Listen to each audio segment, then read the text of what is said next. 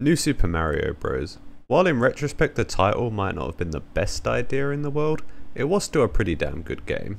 Today we're going to be going back to the very start all the way on to World 1-1 and we're going to set our AI loose and see what it can do. But before we jump into the training, here's a quick little overview of how the AI is actually working. To begin with, our game, or as it's technically called our environment, is going to give our AI a few images. After that, because our AI enjoys a nice 1950s throwback, it's going to shrink the image down and make it black and white. Or maybe it's some other reason, there's really no way to tell.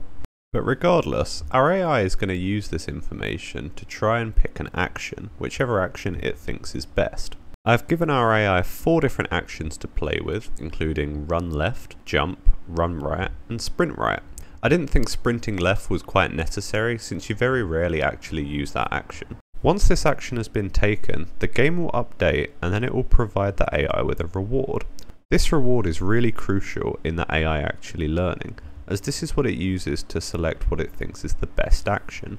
When other people have attempted to get an AI to play games like Super Mario Bros, they typically use the score, but to be honest, that's not quite what I'm interested in.